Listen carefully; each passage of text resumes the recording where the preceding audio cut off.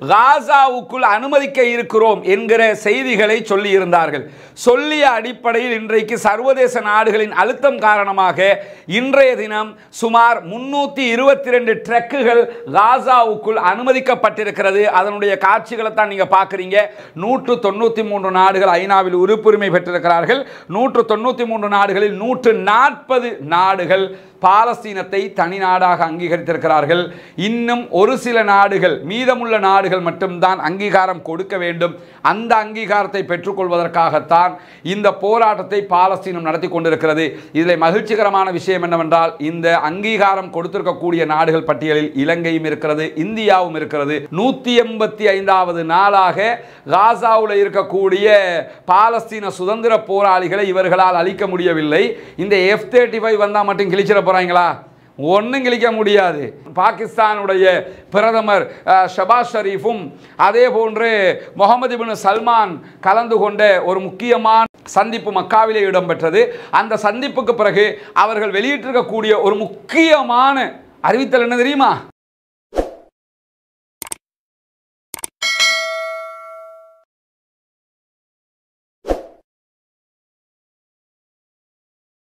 அஸ்லாம் அலைக்கும் வரமதுல்லாஹி வபரகாத்து பேரன்பிற்கினிய சகோதர சகோதரிகளே புனிதமிக்க ரமலானுடைய மாதத்தின் கடைசி நாட்களை அடைந்து ரொம்பவே நெருக்கத்திற்கு வந்து கொண்டிருக்கக்கூடிய இந்த நேரத்திலே கிட்டத்தட்ட ஆறு மாதங்களாக காசா பள்ளத்தாக்கிலே சுமார் நாற்பத்தி ஐந்து கிலோமீட்டர் பரப்பளவுகளை கொண்ட ஒரு பகுதியிலே மாபெரும் ஒரு யுத்தம் தொடர்ந்து நடைபெற்று வருவதை நாம் அறிவோம். அங்கிருக்கக்கூடிய கட்டிடங்கள் அங்கிருக்கக்கூடிய பள்ளி வாயல்கள் அங்கிருக்கக்கூடிய பாடசாலைகள் வைத்தியசாலைகள் அத்தனையும் அழித்து நொறுக்கப்பட்டிருக்கக்கூடிய நேரத்தில் நேற்றைய தினம் ஹான் யூனுஸ் அதாவது சதன் காசாவில் இருக்க இருந்த இஸ்ரேலிய படைப்பிரிவுகள் மொத்தமாக வெளியேறி இருக்கிறது என்கிற செய்திகளை நாம் பார்த்திருக்கிறோம். குறிப்பாக நஹால் என்கிற ஒரு படைப்பிரிவு ஒரு பட்டாலியனை தவிர்த்து மற்ற அத்தனை பேரும் அங்கிருந்து மொத்தமாக வெளியேறி இருக்கிறார்கள்.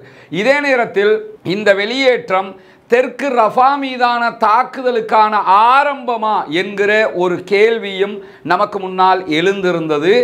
ஆனால் இன்றைய தினம் தெற்கு ரஃபா மீது தாக்குதல் நடத்தாவிட்டால் அதாவது ரஃபாவில் இருக்கக்கூடிய மக்கள் மீது இராணுவ நடவடிக்கைகளை மேற்கொள்ளாவிட்டால் நாங்கள் ஆட்சியிலிருந்து ஒதுங்குவோம் என்று சொல்லி நெத்தனியாகுவின் கூட்டணி கட்சி ஒன்று இன்றைய நாள் அறிவித்திருக்கிறது. ஏன்னா அந்த இந்த யுத்தத்தை காட்டிய அரசியல் செய்கிறவங்க இப்படித்தான் அறிவிப்பார்கள். அந்த அந்த அடிப்படையில் அவர்களும் அறிவித்திருக்கிறார்கள். இதே நேரத்தில் தெற்கு ரஃபா மீது தாக்குதல் நடத்துவதற்கான வாய்ப்புகள் இல்லை என்று சொல்லி அமெரிக்காவின் வெள்ளை மாளிகை இன்றைக்கு ஒரு அறிக்கையையும் வெளியிட்டிருக்கிறது. எனவே வெள்ளை மாளிகையினுடைய அறிவிப்பு பிரகாரம் தெற்கு ரஃபா மீதான தாக்குதல் கொஞ்சம் தாமதமாகலாம் என்பது வெளிப்படையாக தெரிகிறது. இன்னும் சொல்லப்போனால் ரஃபா மீதான தாக்குதல்கள் ஆரம்பிக்கப்பட்டால் அது பாரிய அழுத்தத்தை சர்வதேச அளவில் இஸ்ரேலுக்கு வழங்கும் என்பதில் எவ்விதமான மாற்று கருத்துக்களும் இருக்க முடியாது. எது எப்படி போனாலும் நாற்பதாயிரம் டென்ட்டுகளை நாற்பதாயிரம் முகாம்களுக்கான டென்ட்டுகளை நாங்கள் ஆர்டர் செய்திருக்கிறோம் என்கிறது இஸ்ரேல். அதற்கான காரணமாக அவங்க என்ன சொல்கிறாங்கன்னா ரஃபா மீதான தாக்குதல் நடத்தப்படும் போது அங்கிருக்கக்கூடிய மக்களுக்கான அகதி வாழ்க்கைக்கான டென்ட்டுகளாகத்தான் அதை நாங்கள் தயாரிக்க இருக்கிறோம் வாங்க இருக்கிறோம் என்கிற செய்தியை அவர்கள் வெளியிட்டு இருக்கிறார்கள் இப்படி ரஃபா மீதான தாக்குதல்கள் நடத்தப்படுமா நடத்தப்படாதா என்கிற கேள்விகள் நமக்கு முன்னால் இருக்கிற அதே நேரத்தில் நமக்கெல்லாம் தெரியும். அதாவது கெய்ரோவில் எகிப்தினுடைய தலைநகர் கெய்ரோவில் ஒரு பேச்சுவார்த்தை தொடர்ந்து நடத்தப்பட்டு கொண்டிருக்கிறது. ஹமாஸினுடைய பிரதிநிதிகள் கலந்து கொண்டிருந்தார்கள். இஸ்ரேலுடைய ஷின்பத்தினுடைய தலைவர் மொசாதினுடைய தலைவர் ஷின்பத்தினுடைய தலைவர் என்று இஸ்ரேலிய உள்நாட்டு உளவு பிரிவு வெளிநாட்டு உளவு பிரிவுகளுடைய தலைவர்கள் அந்த பேச்சுவார்த்தையில் கலந்து கொண்டிருந்தார்கள். இதே நேரம் அமெரிக்காவினுடைய சிஐஏ என்கிற அமெரிக்க உளவு பிரிவினுடைய தலைவரும் அந்த பேச்சுவார்த்தையில் கலந்து கொண்டிருந்தார். கத்தாரினுடைய ரெப்ரசன்டேட்டிவ் கலந்து கொண்டிருந்தார்கள். இப்படி பல பேரும் கலந்து கொண்டிருந்த குறித்த சந்திப்பில் ச- அதாவது சமாதான பேச்சுவார்த்தையிலிருந்து இன்றைக்கு ஹமாஸினுடைய அதிகாரிகள் வெளியேறி இருக்கிறார்கள் என்கிற செய்திகள் வெளியாகி இருக்கிறது. அவர்களை இப்போ இன்றைக்கு வெளியானதை பொறுத்தவரையில் பேச்சுவார்த்தையிலிருந்து அவர்கள் வெளியேறவில்லை. பேச்சுவார்த்தையில் சில கோரிக்கைகள் இஸ்ரேல் தரப்பால் முன்வைக்கப்பட்டிருக்கிறது. அந்த கோரிக்கைகளை எங்களுடைய தலைவர்களோடு நாங்கள் கலந்து பேசிவிட்டுத்தான் எங்கள் முடிவை நாங்கள் சொல்ல முடியும் என்று பஸ்ஸாம் நாயிம் உள்ளிட்டவர்கள் அறிவித்திருக்கக்கூடிய காட்சிகளும் இன்றைக்கு நாம் ஊடகங்களில் சர்வதேச ஊடகங்களில் பார்க்க முடிகிறது.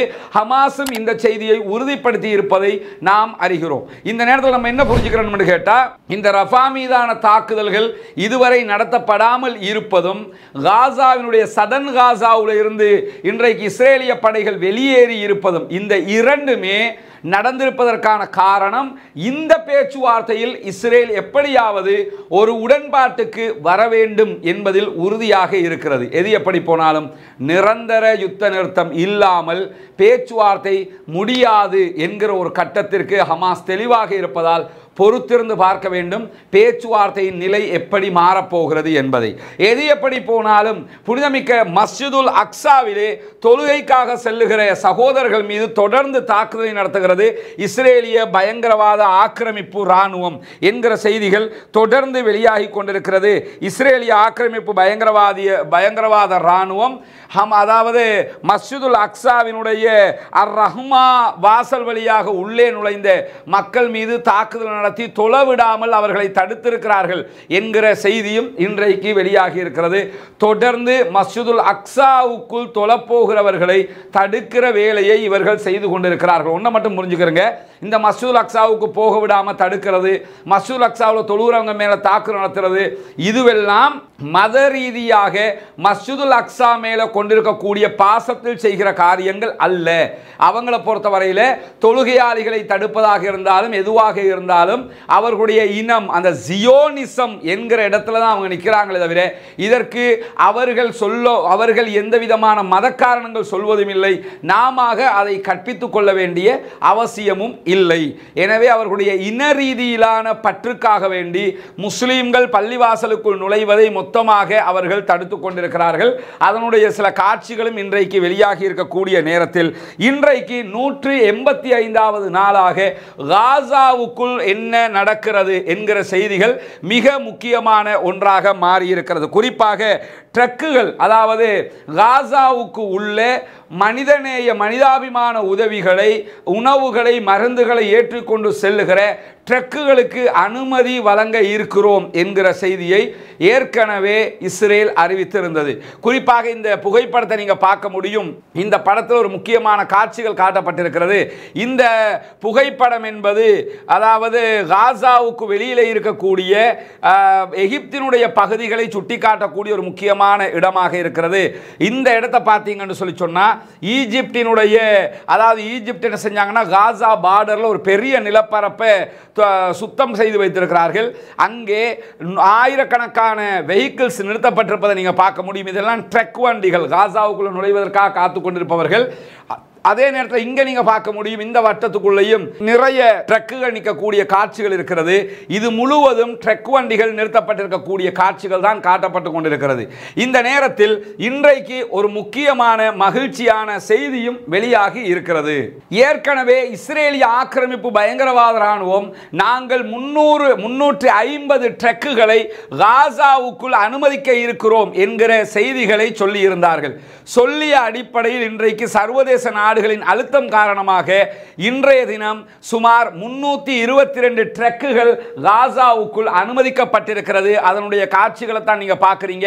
ஜோர்தான் வழியாக அதாவது மொத்தமாக ரஃபாவில் இருந்து மற்ற பகுதிகளை கரேம் அபுஷலேம் வழியா வழியாகவெல்லாம் எத்தனை ட்ரக்குகள் உள்ளே வந்திருக்கின்றன என்பது மொத்தமாக கணக்கிடப்படவில்லை. ஆனால் மொத்தமாக இரண்டு தரப்பில் இருந்து முன்னூற்றி இருபத்தி ரெண்டு ட்ரக்குகள் உள்ளே வந்திருக்கிறது.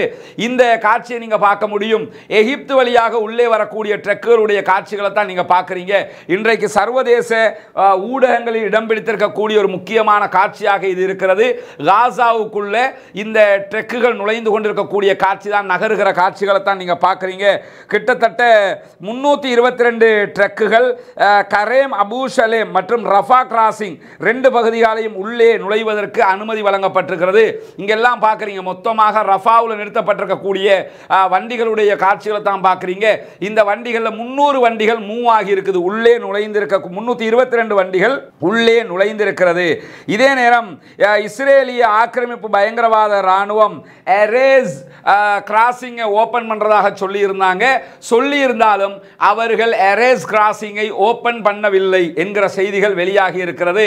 காரணம் என்னன்னு கேட்டால் எரேஸ் கிராசிங் வழியாக உள்ளே நுழைகிற வாகனங்கள் பெரும்பாலும் நார்த்து காசாவுக்குள்ள வடக்கு காசாவுக்குள்ள போக முடியும் வடக்கு காசாவுக்குள்ள அவர்கள் உணவுகளை அனுப்புவதற்கு மறுத்து வருகிறார்கள் என்கிற செய்திகள் இன்றைக்கு வெளியாகி இருக்கிறது. பட்டினி மரணங்களில் உச்சகட்ட மரணங்களை எதிர்கொள்ளக்கூடிய பகுதி நார்த்து காசா வடக்கு காசா. அந்த வடக்கு காசாவுக்குள்ளே ட்ரக்குகளை உள்ளே எடுத்துக்கொண்டு செல்வதற்கு அவர்கள் அனுமதிக்கவில்லை என்கிற செய்திகள் தொடர்ந்து வெளியாகி கொண்டிருக்கிறது. இந்த காட்சிகள் ஜோர்தான் வழியாக உள்ளே நுழையக்கூடிய ட்ரக்குகளுடைய காட்சிகள். இந்த மாதிரி ட்ரக்கு பெரிய ட்ரக்கு இந்த ட்ரக்கில் இருந்து முன்னூற்று இருபத்தி ரெண்டு ட்ரக்குகள் இது மாதிரி உள்ள போயிருக்குது. இதில் உள்ள விவகாரம் என்னன்னு கேட்டால் இந்த ட்ரக்குகள் அத்தனையுமே இஸ்ரேலால் பரிசோதிக்கப்பட்டிருக்கிறது. குறிப்பாக இதற்குள் கொண்டு போகிற உணவுகள் ஒரு நாளைக்கு காசா சாதாரணமான நேரத்தில் யுத்தம் இல்லாத நேரத்தில் காசாவுக்குள்ள ஒவ்வொரு நாளும் என்ன செய்வாங்கன்னு கேட்டால் கொண்டு போகிற உணவு ட்ரக்குகள் ஐநூறு ட்ரக்குகள் ஒவ்வொரு நாளும் உள்ளே நுழைந்து கொண்டிருந்தது. யுத்தம் இல்லாத நேரத்தில். அப்போ நீங்கள் யோசிப்பீங்க அப்போ ஏன் ஐநூறு ஐநூற்றி ஒன்று போனால் என்ன? ஐநூற்றி பத்து உள்ளே போனா என்னன்னு கேட்பீங்க இந்த யுத்தத்தினுடைய அடிப்படையே அங்குதான் தங்கி இருக்கிறது என்பதை புரிந்து கொள்ளுங்கள். ஒரு நாளைக்கு எத்தனை வண்டிகளில் உணவு உள்ளே போக வேண்டும் என்பதை கூட இஸ்ரேல் தான் நிர்ணயித்து கொண்டிருந்தது. யுத்தம் அல்லாத நேரத்திலேயே ஐநூறு ட்ரக்குகள் தான் உள்ளே போக முடியும். அது பெட்ரோல் டீசல் உணவு மருந்து இப்படி எதுவாக இருந்தாலும் சரி ஐநூறு ட்ரக்கு தான். அதுக்கு மேலே உள்ளே நுழைய முடியாத நிலை சாதாரண நேரத்திலேயே காசாவுக்குள் காணப்பட்டது.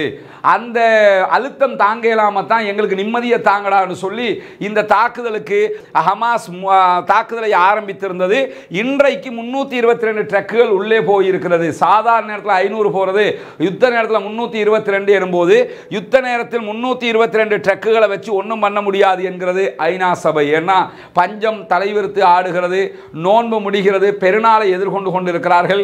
பெருநாளை எதிர்கொள்ளக்கூடிய நேரத்தில் இன்றைக்கு உள்ளே சென்ற ட்ரக்குகள் மூலமாக டின்களில் அடைக்கப்பட்ட உணவுகள் அதே போன்று ட்ரை ஃபுட்ஸ் போன்றவைகள் அந்த மக்களுக்கு வழங்கப்பட்டு கொண்டிருக்கிறது. ஆனால் கவலைக்குரிய நிலை வடக்கு காசாவில் இருக்கக்கூடிய மக்களுக்கு எதுவுமே கிடைக்கவில்லை. நார்த்து காசாவுக்குள்ள வாகனங்கள் நுழைய முடியவில்லை ட்ரக்குகள் நுழைய முடியவில்லை. இஸ்ரேலிய ஆக்கிரமிப்பு பயங்கரவாத இராணுவம் தடுத்து கொண்டிருக்கிறது என்கிற செய்திகள் தொடர்ந்து வெளியாகி கொண்டிருக்கிறது. வண்டிகள் உள்ள போகிற காட்சிகளை தான் தொடர்ந்து பார்க்கிறோம். இதே நேரத்தில் இந்த காட்சிகளை நீங்கள் பார்க்க முடியும். நேற்றைய தினம் ஹான் யூனுஸில் இருந்து இஸ்ரேலிய ஆக்கிரமிப்பு பயங்கரவாத இராணுவம் மொத்தமாக வெளியேறுகிற காட்சிகள் தான் இதில் பதிவு செய்யப்பட்டிருக்கிறது. இதில் அவங்க அவர்களுடைய அதாவது டேங்குகள் மெர்காவா டேங்குகள் உள்ளிட்ட நூற்றுக்கணக்கான டேங்குகள் அவங்க வெளியெடுத்துட்டாங்க. குறிப்பாக ஹான் யூனுஸில் இன்றைக்கு மக்கள் அவர்களுடைய இடங்களை போய் பார்த்திருக்கிறார்கள். இதுவரைக்கும் ஹான் யூனுஸ் பகுதிகளிலிருந்து சுமார் ஐம்பத்தி ஏழு ஜனாசாக்கள் அழுகிய நிலையில் கண்டெடுக்கப்பட்டிருக்கின்றன. அல்லாஹு தாலா அந்த மக்களுக்கு சொர்க்க சொர்க்கத்தை கொடுக்க வேண்டும். அந்த மக்களுக்கு ஷஹீதுடைய அந்தஸ்தை கொடுக்க வேண்டும். இந்த இஸ்ரேலிய ஆக்கிரமிப்பு பயங்கரவாத இராணுவம் செய்த அநியாயத்தின் காரணமாக அநியாயமாக கொல்லப்பட்டிருக்கக்கூடிய மக்கள் அவர்கள் ஐம்பத்தி ஏழு ஜனாசாக்கள் இதுவரைக்கும் மீட்கப்பட்டிருப்பதாக பலஸ்தீன் ரெட் கிரசன் சொசைட்டி அறிவித்திருக்கிறார்கள். இதே நேரத்தில் இன்னும் பல ஜனாசாக்கள் மீட்கப்படக்கூடும் என்கிற அச்சமும் தொடர்ந்து வெளியிடப்பட்டு வருகிறது. இந்த நிலைதான் காசாவுக்குள் இருக்கிறது. எது எப்படி போனாலும் இன்றைக்கு முன்னூற்றி இருபத்தி இரண்டு ட்ரக்குகள் உள்ளே நுழைந்தது என்பது ஒரு பாரிய வெற்றியாக மன நிம்மதியாக இருக்கிறது. நம்முடைய பிரார்த்தனைகளை அல்லாஹு தாலா வீணாக்கவில்லை என்கிற நம்பிக்கை என்றைக்கும் நமக்கு இருக்க வேண்டும். அல்லாஹு தாலாவினுடைய உதவியால் அந்த ட்ரக்குகள் உள்ளே போகிற மகிழ்ச்சிகரமான காட்சியை நீங்கள் அத்தனை பேரும் பார்த்து கொண்டிருக்கிறீர்கள். அல்லாவிடத்திலே கையேந்துங்கள். அல்லாஹுக்கு சுக்கூர் செய்யுங்கள். சுஜூதிலே விழுந்து அல்லாஹுக்கு நன்றி செலுத்துங்கள். அத்தனை பேரும் நன்றி செலுத்த கடமைப்பட்ட மக்களாக இந்த இடத்திலும் இருக்கிறோம் என்பதை புரிந்து கொள்ளுங்கள். இதே நேரம் இன்றைக்கு இன்னும் என்னவெல்லாம் காசா விவகாரத்தில் நடைபெறுகிறது என்கிற செய்திகள் தொடர்ந்து வெளியாகி கொண்டிருக்கிறது. இந்த நேரத்தில் ICJ international court of justice என்கிற சர்வதேச நீதிமன்றம் புதியதொரு விசாரணையை ஆரம்பிக்க இருக்கிறது. அந்த விசாரணை ஜெர்மனுக்கு எதிரான விசாரணை என்பதுதான் ஆச்சரியமாக இருக்கிறது. அதாவது என்ன அவர்கள் மீது கொண்டு வரப்பட்டிருக்கக்கூடிய குற்றச்சாட்டு என்று சொன்னால் ஜெர்மன் மீது தொடரப்பட்டு அதாவது நிக்கரகுவா நாட்டினால் தொடரப்பட்டிருக்கக்கூடிய ஒரு முக்கியமான வழக்கு என்னன்னு சொன்னால் இந்த யுத்தத்திலே பாலஸ்தீன அப்பாவி மக்கள் மீது நடத்தப்படுகிற பயங்கரவாத இஸ்ரேலிய இன அழிப்பு தாக்குதல்களுக்கு முப்பது சதவீதமான ஆயுதங்களை விற்பனை செய்யக்கூடிய வேலையை ஜெர்மன் தான் செய்து கொண்டிருக்கிறது. நமக்கு தெரியும் இரண்டாம் உலக மகா யுத்தத்தின் போது யூதர்களை கொன்று ஒழித்ததாக இவர்கள் மீதுதான் குற்றச்சாட்டு முன்வைக்கப்படுகிறது. அப்படிப்பட்ட அநியாயக்காரர்களாக உலகத்திற்கே சித்தரிக்கப்பட்டவர்கள் தற்போது தற்போது அங்கிருக்கக்கூடிய பாலஸ்தீனில் இருக்கக்கூடிய அப்பாவிகளை கொன்றொழிப்பதற்காக இஸ்ரேலுக்கு முப்பது சதவீதமான ஆயுதங்களை கொடுத்து கொண்டிருக்கிறார்கள் என்கிற ஆச்சரியமான செய்திகள் வெளியாகி இருக்கிறது. இன்று அதாவது சர்வதேச நீதிமன்றத்தில் ஜெர்மனுக்கு எதிராக முக்கியமான விசாரணையை தொடங்க இருக்கிறோம். ஆயுதம் கொடுக்கிறதை நிறுத்த வேண்டும் என்கிற கோரிக்கையோடு தான் இந்த வழக்கு விசாரணைகள் ஆரம்பிக்கப்பட இருக்கிறது. இருப்பினும் இந்த வழக்கு விசாரணை எங்கள் மீது வைக்கப்பட்டிருக்கிற குற்றச்சாட்டுக்களை நாங்கள் நிராகரிக்கிறோம் என்றும் இன்றைய தினம் ஜெர்மனும் அறிவித்திருக்கக்கூடிய செய்திகள் வெளியாகி கொண்டிருக்கிறது. இப்படியான நேரத்தில் பாலஸ்தீனத்தினுடைய கோரிக்கையை நாங்கள் பரிசீலிப்பதற்கு தயார் என்கிற ஒரு அறிக்கையை ஐநா சபை இன்றைய நாளில் வெளியிட்டு இருக்கிறார்கள் ஐநாவினுடைய அறிக்கை இன்றைக்கு வெளியாகி இருக்கிறது. அந்த அறிக்கையிலே நமக்கெல்லாம் தெரியும் பாலஸ்தீனம் சார்பாக ஒரு முக்கியமான கோரிக்கை முன்வைக்கப்பட்டிருந்தது. அது என்ன கோரிக்கை என்று சொல்லி சொன்னால் பாலஸ்தீனத்தை ஐநாவினுடைய நிரந்தர உறுப்பு நாடாக ஏற்றுக்கொள்ள வேண்டும் என்பதுதான் பாலஸ்தீனத்தினுடைய கோரிக்கையாக இருந்தது. ஆனால் இதுவரைக்கும் பாலஸ்தீனம் ஐநா சபையில் நிரந்தர உ- அதாவது உறுப்புரிமை பெற்ற நாடாக இல்லை. அவர்கள் பா- பார்வையாளர்கள் என்கிற வட்டத்தில் இருக்கக்கூடிய நாடாகத்தான் இன்னும் நிறுத்தப்பட்டிருக்கிறார்கள். ஐநாவினால் மொத்தமாக பாலஸ்தீனம் ஒரு நாடாக அங்கீகரிக்கப்படவில்லை என்கிற நிலைதான் தொடர்ந்து கொண்டிருக்கிறது. இந்த நேரத்தில் தான் பாலஸ்தீனத்தை தனி நாடாக அங்கீகரிப்பதற்காக பாலஸ்தீனத்தை ஏற்றுக்கொள்வதற்காக எங்களை ஐநா சபை ஒரு நிரந்தர நாடாக ஏற்றுக்கொள்ள வேண்டும் என்கிற கோரிக்கை பாலஸ்தீன தரப்பிலிருந்து முன்வைக்கப்பட்டிருக்கக்கூடிய நேரத்தில் இதுவரைக்கும் ஐநாவிலே இருக்கக்கூடிய நூற்று தொண்ணூற்றி மூன்று உறுப்பு நாடுகளில் சுமார் நூற்று நாற்பது நாடுகள் பாலஸ்தீனத்தை தனி நாடாக அங்கீகரித்திருக்கிறது அங்கீகரிப்பதற்கு தயாராக இருக்கிறது என்கிற செய்திகள் ஏற்கனவே வெளியாகியவைகள். உலகத்தில் இருக்கக்கூடிய நாடுகளில் நூற்று தொண்ணூற்றி மூன்று நாடுகள் ஐநாவில் உறுப்புரிமை பெற்றிருக்கிறார்கள். நூற்று தொண்ணூற்றி மூன்று நாடுகளில் நூற்று நாற்பது நாடுகள் பாலஸ்தீனத்தை தனி நாடாக அங்கீகரித்திருக்கிறார்கள். இன்னும் ஒரு சில நாடுகள் மீதமுள்ள நாடுகள் மட்டும்தான் அங்கீகாரம் கொடுக்க வேண்டும். அந்த அங்கீகாரத்தை பெற்றுக்கொள்வதற்காகத்தான் இந்த போராட்டத்தை பாலஸ்தீனம் நடத்தி கொண்டிருக்கிறது. இதில் மகிழ்ச்சிகரமான விஷயம் என்னவென்றால் இந்த அங்கீகாரம் கொடுத்திருக்கக்கூடிய நாடுகள் பட்டியலில் இலங்கையும் இருக்கிறது இந்தியாவும் இருக்கிறது. இப்படி பல சவுத் ஏசிய நாடுகள் பாலஸ்தீனத்தை தனி நாடாக அங்கீகரிப்பதற்கு தயாராக இருக்கிற நாடுகளாக இருக்கிறார்கள் என்பதுதான் ரொம்ப மகிழ்ச்சிகரமான செய்திகளில் ஒன்றாக இருக்கிறது.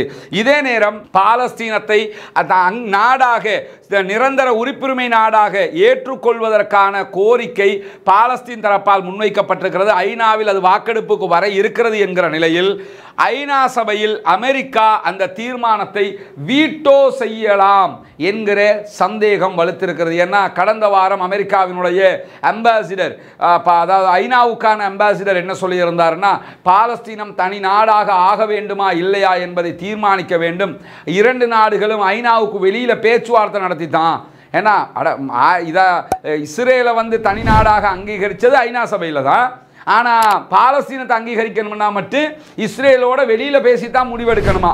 இங்கே பேசினா முடிவு வந்துருங்கிறதுக்காக இந்த கருத்தை அவர்கள் சொல்லி இருக்கிறார்கள் எனவே பாலஸ்தீனம் மீதான இந்த தீர்மானம் நாடாக அங்கீகாரம் பெறுகிற தீர்மானம் கொண்டு வரப்பட்டால் கண்டிப்பாக அதை அமெரிக்கா வீட்டோ செய்வதற்கான வாய்ப்புகள் நிறையவே இருக்கிறது என்கிற சந்தேகங்களும் இன்றைக்கு ஆய்வாளர்களால் வெளியிடப்பட்டு கொண்டிருக்கக்கூடிய நேரத்தில் அமெரிக்காவிடமிருந்து த்ரீ பாயிண்ட் எயிட் பில்லியன் அளவுக்குண்டான ஆயுதங்களை இஸ்ரேலிய ஆக்கிரமிப்பு பயங்கரவாத இராணுவம் வாங்க தாங்கி கொண்டிருக்கிறது என்கிற நிலையில் இதுவரை தயாரிக்கப்பட்ட ரொம்ப ரொம்ப மேம்படுத்தப்பட்ட போர் விமானமாக கருதப்படுகிற எஃப் தேர்ட்டி ஃபைவ் என்கிற விமானத்தின் முதல் சர்வதேச ஆபரேட்டராக இஸ்ரேல் தான் இருக்கிறார்கள் என்பதுதான் ஆச்சரியமான உண்மையாக இருக்கிறது. உலகத்தில் இருக்கக்கூடிய மிக பயங்கரமான விமான அதாவது இராணுவ விமானங்களில் இந்த எஃப் தேர்ட்டி ஃபைவ் என்கிற விமானம் பார்க்கப்படுகிறது. வேகமான தாக்குதல் அதிபயங்கரமான தாக்குதல் என்கிற பல விசேட அம்சங்களை இது கொண்டிருக்கிறது. இன்னும் சொல்ல போனால் ராடாருக்கு சிக்காத ஒரு நிலையும் இவர்களிடத்தில் இருக்கு இந்த விமானத்தில் இருக்கிறது பல விமானங்களில் இருக்குது. இதுலேயும் அது இருக்கிறது என்கிற பல சிறப்பம்சங்களை கொண்டிருக்கக்கூடிய இந்த விமானத்தை முதன்மையாக அமெரிக்காவிடமிருந்து வாங்கியது இஸ்ரேல் தான். வாங்கியது மட்டுமல்ல வாங்கியது வாங்கிட்டு அதை வந்து யுத்தத்தில் யூஸ் பண்ணணும் இல்லை யுத்தத்தில் இதை பயன்படுத்துவதும் ஆப்ரேட் பண்ணுறதும் யாருன்னு கேட்டால் இஸ்ரேல் தான் ஆப்ரேட் பண்ணுறாங்க கிட்டத்தட்ட ஏற்கனவே அவர்கள் எஃப் தேர்ட்டி ஃபைவ் விமானங்கள் ஏற்கனவே மு- அதாவது முப்பத்தி ஆறு விமானங்களை அவர்கள் வாங்கியிருந்தார்கள். இப்போ எழுபத்தி ஐந்து விமானங்கள் மீண்டும் அவர்கள் வாங்குகிறார்கள். அமெரிக்கா அவர்களுக்காக கொடுக்கிறது. இன்னொன்று நினச்சிக்கிறேங்க. சின்ன சின்ன ஆயுதங்களை வச்சு அறுபது நாள் தண்ணி காட்டிக்கிட்டு அறுபது ஆறு மாதமாக தண்ணி காட்டிக்கிட்டு இருக்கிறாங்க. நூற்றி எண்பத்தி ஐந்தாவது நாளாக காசாவில் இருக்கக்கூடிய பாலஸ்தீன சுதந்திர போராளிகளை இவர்களால் அழிக்க முடியவில்லை. இந்த எஃப் தேர்ட்டி ஃபைவ் வந்தால் மட்டும் கிழிச்சிட போகிறாங்களா ஒன்றும் கிழிக்க முடியாது. அது நம்ம வ- ஏற்கனவே சொன்ன மாதிரி தான். உள்நாட்டுக்குள்ளே ஓனான் பிடிக்க முடியாதவன் உகாண்டாவில் போய் உடும்பு பிடிச்சிருவானா? ஒன்றும் பண்ண முடியாது. இந்த எஃப் தேர்ட்டி ஃபைவ் எது வந்தாலும் இப்போ சுதந்திர போராட்ட உணர்வுக்கு முன்பதாக இவர்களுடைய ஆயுதங்கள் எல்லாம் செல்லா காசுகள். அப்பாவி பொதுமக்களை அழிக்கலாம். அப்பாவி பொதுமக்கள் மேலே குண்டு போடலாம். அப்பாவிகளுடைய வீடுகளை அழிக்கலாம். மருத்துவமனைகளை அழிக்கலாம். அங்கிருக்கக்கூடிய சுதந்திர வேட்கை கொண்டவர்களை அழித்தார்களா? ஹமாஸை நாங்கள் டிஃபீட் பண்ணுவோம் என்று சொன்னார்கள் செய்தார்களா? எங்களுடைய பணைய கைதிகளை மீட்டு கொண்டு இந்தா வந்துருவோம் நாங்கள் கொண்டு வந்தார்களா என்றால் இதுவரை அவர்களால் செய்ய முடியவில்லை. இந்த நிலையில் தான் இப்படி ஒரு பயங்கரமான விமானத்தையும் அவர்கள் கொள்வனவு செய்திருக்கிறார்கள். கிட்டத்தட்ட எழுபத்தி ஐந்து விமானங்களை அவர்கள் வாங்குகிறார்கள். கடந்த வருடம் முப்பத்தி ஆறு விமானங்களை வாங்கியிருந்தார்கள். இதை தற்போது இந்த யுத்தத்திலே இந்த பயங்கரமான விமானத்தையும் பயன்படுத்தி கொண்டு கொண்டிருக்கிறார்கள் என்பதையும் நாம் புரிந்து கொள்ளுகிற அதே நேரத்தில் இன்றைக்கு வெளியாகி இருக்கக்கூடிய இன்னும் ஒரு முக்கியமான செய்தி தான் இவரே நமக்கு தெரியுமில்ல இவர்தான் ஒன் ஆஃப் த ஹீரோ ஹீரோன்னா என்ன? அவர் அவரை நினச்சி கொண்டிருக்கக்கூடிய ஒன் ஆஃப் த ஹீரோ சவுதியினுடைய இளவரசர் முகமது பின் சல்மான். அதாவது எங்களுக்கு எல்லாம் முடியும் ஆனால் ஒன்றும் செய்ய மாட்டோம் என்கிற நிலையில் சில பேர் இருப்பாங்க. அந்த மாதிரி நிலையில் இருக்கக்கூடிய ஒருவர் அவர்களுக்கு அவர்களுடைய சுகபோக வாழ்க்கையும் அவர்களுடைய ஆடம்பரங்களும் அவர்களுடைய அந்த மாதிரியான விஷயங்கள் தான் அவர்களுக்கு தேவையே தவிர அப்பாவி மக்களை பற்றி சிறிதும் கிஞ்சிற்றும் கவலைப்படாத ஒரு ஜென்மங்களாக அவர்கள் இருக்கிறார்கள். அதாவது இவன் குண்டு போட்டு அடித்து அழிச்சுக்கிட்டு இருக்கிறான். இவங்க அதை பா கை கட்டி பார்த்துக்கிட்டு இருக்கிறாங்க. மொத்தத்தில் இருசாராருக்கும் எந்த வித்தியாசமும் இல்லை என்கிற அளவுக்குண்டான இந்த அநியாயங்களை பார்த்து கொண்டு அத்தனை பலமும் வளமும் வைத்துக்கொண்டு சும்மா இருக்கக்கூடிய குரூப் இது. இந்த குரூப் இன்றைக்கு பாகிஸ்தான் பாகிஸ்தானுடைய பிரதமர் ஷபாஸ் ஷரீஃபும் அதே போன்று முகமது பின் சல்மான் கலந்து கொண்ட ஒரு முக்கியமான சந்திப்பு மக்காவிலே இடம்பெற்றது. அந்த சந்திப்புக்கு பிறகு அவர்கள் வெளியிட்டிருக்கக்கூடிய ஒரு முக்கியமான அறிவித்தல் என்ன தெரியுமா? யுத்தத்தை நிறுத்தணும். இன்னைக்கு அது அது பெரிய ஹைலைட்டட் நியூஸாக சவுதி அரேபியாவினுடைய பல ஊடகங்கள் அதை வெளியிட்டிருக்கிறாங்க. பாகிஸ்தானில் பல ஊடகங்கள் வெளியிட்டிருக்கிறாங்க. யுத்தத்தை நிறுத்தணும் நூற்றி எண்பது நாட் நூற்றி எண்பத்தி அஞ்சு நாளாக முழு உலகமும் அதை தான் சொல்லிக்கிட்டு இருக்குது. இப்போ அவங்களும் வந்து ஒரு முக்கியமான நியூஸ்னு சொல்லிக்கிட்டு இருக்கிறாங்க. முழு ரமதானில் கொன்று ஒழிச்சுக்கிட்டு இருக்கிறான் மக்களை. கா- மஸ்ஜிதுல் அக்ஸா முஸ்லீம்களுடைய மூன்றாவது பள்ளிவாசல் மஸ்ஜிதுல் அக்ஸாவுக்குள்ளே கொன்று குவிச்சுக்கிட்டு இருக்கிறான். இவ்வளவு அநியாயத்தை பண்ணிக்கிட்டு இருக்கிறான். பண்ணி கொண்டிருந்தும் எந்த விதமான சஞ்சலமும் இல்லாமல் தங்களுடைய சுகபோக வாழ்க்கையில் மட்டும் மிக கவனமாக இருக்கக்கூடிய கூட்டம் இன்றைக்கு இப்படி ஒரு அறிக்கையை வெளியிட்டிருக்கிறார்கள். குறிப்பாக நீங்கள் பார்ப்பீங்க இந்த பேச்சுவார்த்தை அது இதுன்னு ஆயிரம் பிரச்சனை நடக்குது. ஈவன் அப்துல் ஃபதா சிசி முழுக்க முழுக்க இஸ்ரேலுக்கு வாலாட்டக்கூடியவர் அவர் கூட இன்னைக்கு முன் வந்து பேச்சுவார்த்தையை முடிச்சு யுத்தத்தை நிறுத்துவோம்டான்னு வந்து நிற்கும் போது இவர்கள் அவ்வப்போது இப்படி வந்து சில அறிக்கைகளை வெளியிட்டு விட்டு மட்டும் செல்கிறார்கள். என்னை பொறுத்தவரையில் இது மாதிரி ஆட்கள் வந்து ஓரமாக நின்று விளையாடினாலே போதுமானது என்பதுதான் நம்ம சொல்ல முடியும் என்று கேட்டால் இந்த யுத்தத்தில் வந்து அடுத்த கட்ட நகர்வுகள் கண்ணுக்கு முன்னால் அலமதுல்லா என்று தெரிந்து கொண்டிருக்கிறது. எது எப்படி போனாலும் பாலஸ்தீனம் சுதந்திரம் அடைவதற்கான முயற்சியில் இருக்கக்கூடிய அப்பாவிகள் அங்கிருக்கக்கூடிய சு- சுதந்திர போராளிகள் படுபயங்கரமான முயற்சிகளை செய்து கொண்டிருக்கிறார்கள். விரைவில் ஜனநாயக ரீதியாக மீண்டும் அவர்கள் ஆட்சியை தக்க வைக்கப் போகிறார்கள். மீண்டும் அவர்கள் அந்த நாட்டை தங்களுடைய சொந்த நாடாக ஆக்கப் போகிறார்கள் என்பதில் இன்ஷா அல்லா மாற்று கடத்திருக்க முடியாது. இன்றைக்கு இத்தனை நாடுகள் கைவிட்டிருந்தும் சவுதி கைவிட்டிருந்தது குவைத் அத்தனை அரபு நாடுகள் கைவிட்டிருந்தும் அவர்கள் ஹான் யூனுஸை மீட்டிருக்கிறார்கள். ஹான் யூனுஸினுடைய பெரும்பகுதியை மீட்டிருக்கிறார்கள். இதே போன்று மற்ற பகுதிகளும் மீட்கப்படும். முன்னூறு ட்ரக்குகளுக்கு மேலே இன்றைக்கு உள்ளே நுழைந்திருக்கிறது இன்ஷா அல்லா மற்ற மற்ற வெற்றிகளும் கிடைக்கும் என்பதிலே எவ்விதமான மாற்று கருத்துகளும் இருக்க முடியாது என்கிற நிலையில் நாம் தெரிந்து கொள்ள வேண்டிய இறுதியான இன்னும் ஒரு விஷயம் என்னவென்று சொல்லி சொன்னால் அதாவது ஹிஸ்புல்லாக்களுக்கும் காசா காசாவில் இருக்கக்கூடிய பாலஸ்தீன சுதந்திர போராளிகள் கடுமையான தாக்குதல்களை இஸ்ரேல் மீது தொடர்ந்து நடத்தி கொண்டிருக்கக்கூடிய நிலையில் நேற்றைய தினமும் மிக கடுமையான ஏவுகணை தாக்குதல்கள் நடை நடத்தப்பட்டு கொண்டிருக்கக்கூடிய நேரத்தில் ஹிஸ்புல்லாக்கள் தொடர்ந்து புர்கான் ஃபலக் என்கிற இரண்டு வகையான ஏவுகணைகளை அவர்கள் மீது தொடர்ந்து தாக்குதலாக நடத்தி கொண்டிருக்கக்கூடிய செய்திகளை நம்ம பார்த்து வர்றோம்.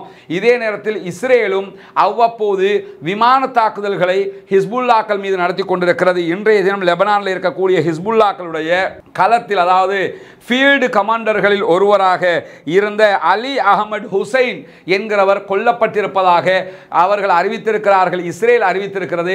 ஆனால் தங்களுடைய ஃபீல்டு கமாண்டர் கொல்லப்பட்டிருக்கிறாரா இல்லையா என்பதை இதுவரைக்கும் ஹிஸ்புல்லாக்கள் உறுதிப்படுத்தவில்லை.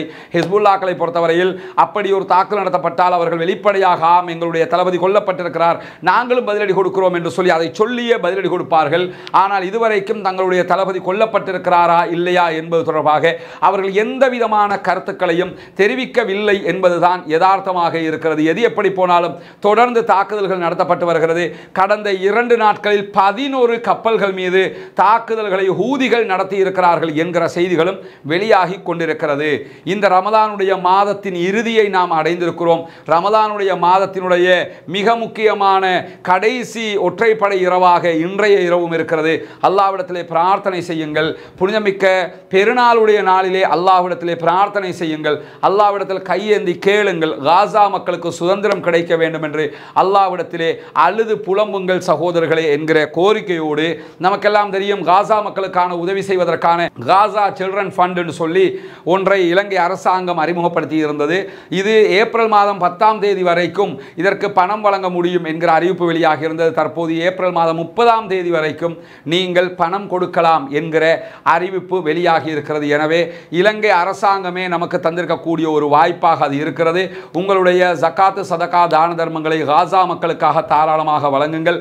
அந்த மக்களுக்கு அது போய் சேர்வதற்கான ஏற்பாடுகளை ஆரம்பமாக அவர்கள் one million US dollar UNRWA ஏக்கி ஐநாவினுடைய அதிகாரிகளை அழைத்தே கொடுத்திருக்கிற காட்சிகளும் ஏற்கனவே வெளியாகி இருக்கக்கூடிய நேரத்தில் மீண்டும் உங்கள் நம்மால் முடிந்த உதவிகளை அவர்களுக்கு செய்து முடிக்க வேண்டும் என்பதுதான் நம்முடைய நிலையாக இருக்கிறது. எனவே வல்ல ரஹ்மான் நம்முடைய எண்ணங்களை புரிந்து கொள்வானாக. பாலஸ்தீனம் சுதந்திரம் அடைவதற்கு அல்லாஹு தாலா அருள் புரிவானாக. பாலஸ்தீன மக்களை அழித்து அவர்களுக்கு இவ்வளவு பெரிய துன்பத்தை கொடுத்திருக்கக்கூடிய இஸ்ரேலிய ஆக்கிரமிப்பு பயங்கரவாத இராணுவம் இல்லாதொழிவதற்கு அல்லாவிடத்திலே பிரார்த்திப்போமாக. குனோத்து நாசிலாவை ஓதுவோமாக என்ற கோரிக்கையோடு முடித்துக் கொள்கிறேன். வாஹர் தவானா அனில் அஹமதுல்லாஹி ரப்பில் ஆலமீன்.